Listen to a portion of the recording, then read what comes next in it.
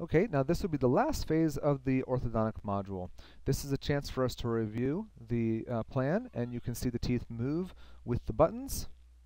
These will be what each model looks like once printed and ready for the aligner fabrication.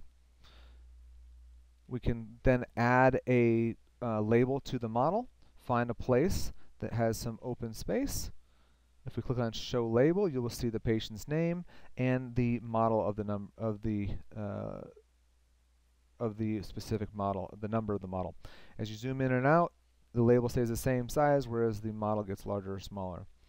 Click a spot, select Apply, you will see this take a little while because it's going to apply this label to every single model in the plan. And with a, a larger case like this with 25 uh, different models, it's going to have to apply that label to all 25 models.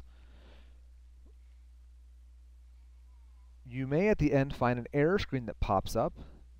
That happens fairly often. You can just move ahead and ignore that error has to do with a hole that may be generated in the alignment phase but will not affect your printing uh, most of the time. So hit OK. That's uh, almost never an issue.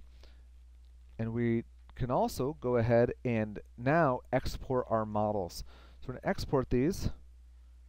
I'm going to create a new folder. Call this the upper treatment models or whatever you want to call them. And now that is exporting all of these models there for print uh, for you to print or for you to send to a printer. Lastly, we can create a report. Uh, okay, and I like to add to the end of this upper in case I am treating treatment planning the lower as well. And here's an example of what that uh, report looks like. It's going to have the patient's name up top. It's going to show you a, um, a final screenshot of the case, show you the IPR values for the specific positions, and in every phase, what movement is occurring. Okay. And then last but not least, you do want to make sure that you save your case.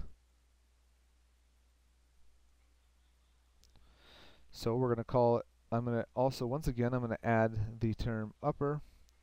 You might change that to maxilla, mandible, your preference. Now it's saved. I can come back in here and edit it as I need. I can use this as to show my patient the overall workup and they can approve it prior to printing if I want uh, and prior to beginning of treatment. Hopefully that helps to uh, show you the process of the software. Please let us know if you have any questions. Look forward to more videos showing more advanced functions.